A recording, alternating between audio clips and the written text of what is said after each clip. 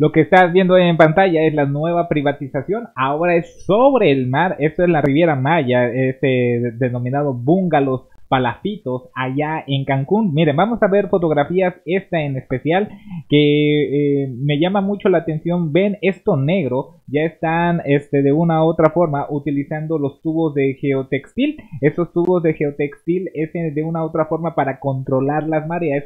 Es como un rompeolas. Pero aquí lo triste, lo, o mejor dicho, lo curioso es que aquí ofrecen eh, eh, actividades como el snorkel. Bueno, si tú eh, haces eh, o las actividades de snorkel, debes dejar pasar todas las corrientes marinas para que tanto la flora y fauna acuática se vea beneficiada con toda la corriente. Es decir, este, este Los Palacitos está haciendo y está alterando el ecosistema. Vamos a estar viendo cómo diferentes influencers, por ejemplo, que eh, ven con normalidad este hotel, no puedo ponerlo por derechos de copyright, pero en serio, ya están privatizando, de por sí en Cancún, ya dan este tours para que visites la playa, en serio, no lo digo yo, lo, lo dice gente de, que vive allá normalizar esto. Esto me llama mucho la atención, estas fotografías que vamos a estar viendo en este momento. Como este lugar ya lo están, eh, le están saturando sobre el mar.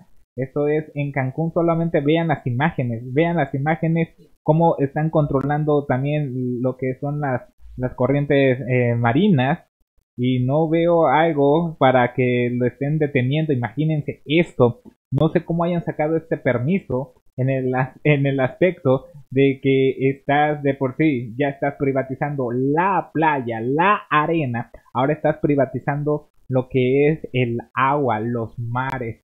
Esta es la información que yo quería traerles el día de hoy. Esto pasa en Cancún y esto nació en el 2020, en la época de pandemia, cuando todos estábamos este, de una u otra forma resguardados en nuestra casa.